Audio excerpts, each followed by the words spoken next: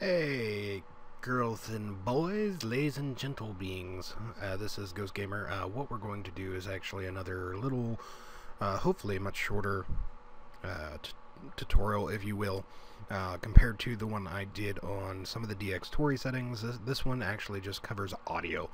Uh, because there's been quite a few questions, and even I had to th fumble through it in order to uh, get it to work uh, concerning audio, uh, more specifically, and most I can't talk today uh, at all. Most specifically, if you are trying to record both in-game audio and also uh, like a voiceover or a voice commentary or, or whatever, and you're using a separate uh, mic input or a separate audio input in Dxtory what it does is it actually records two different channels, uh, if you will, one for your game audio and one for uh, your commentary.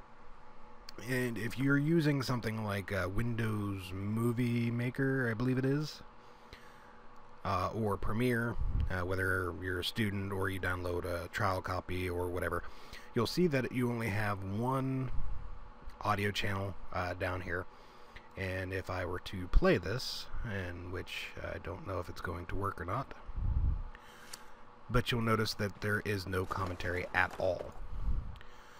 Which can be a bit of annoying and uh, a little bit of an inconvenience.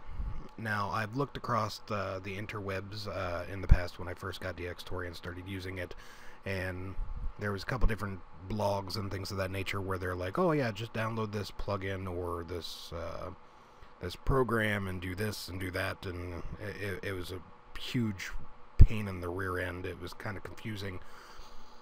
And so it was one of those things where I actually recorded some of the segments uh, outside of Dxtory and actually just used my uh, uh, HD PVR to record it. Uh, that way I could get both my commentary and the in-game audio.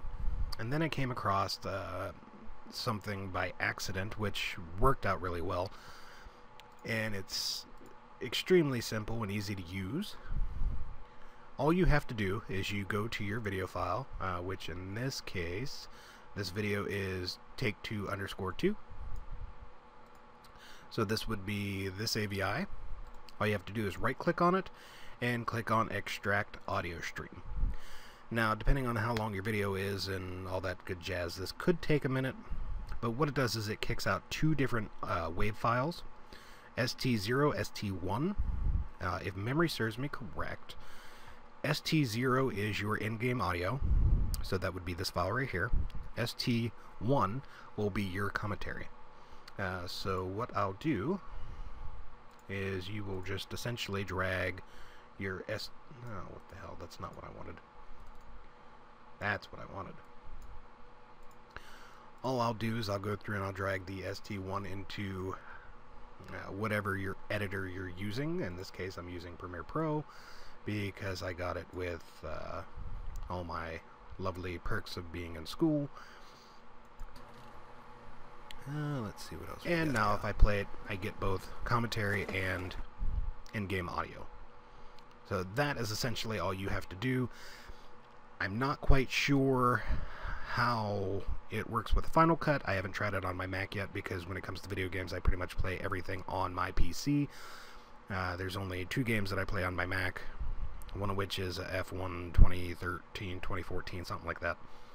Uh, and the other one's a cheesy game that's pretty much only for Mac. I have not tried it in Final Cut Pro. Uh, I'll actually try that a little bit later on, and I will share the results with you guys probably in uh, the comments below, or as a video comment, or a video response, or whatever you want to call it, to let you guys know if you are a Mac user, how it works out inside Final Cut. Um, if you are one of those people who like using Sony Vegas because it's a little bit more user-friendly, or whatever, what have you, it actually pulls in both audio tracks whenever you insert the footage, so you don't have to go through this extra step. With all that said and done, uh, that's pretty much all there is to it.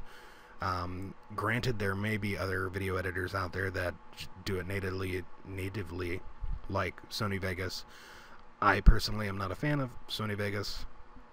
I downloaded the trial. It took like four or five times longer to render out my videos just based on a couple demos that I tried. I did not care for it whatsoever. I will stick with Premiere and possibly Final Cut.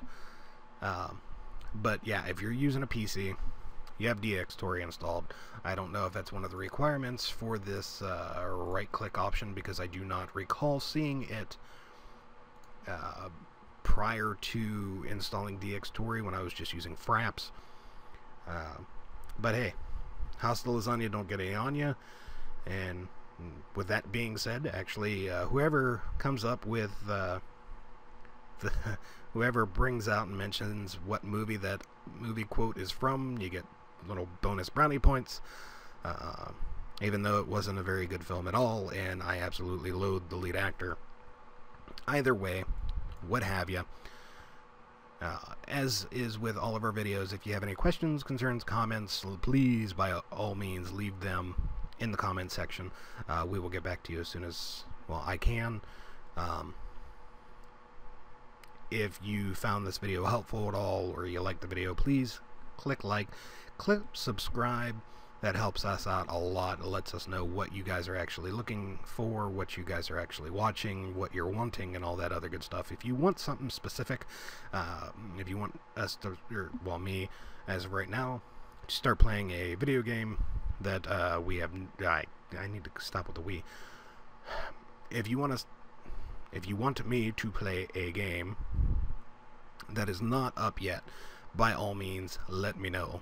I'll either go out to GameStop or I'll hop on Steam or something and or even go to Best Buy, which I'd much rather go to like Tiger Direct or Newegg. But either way, let me know.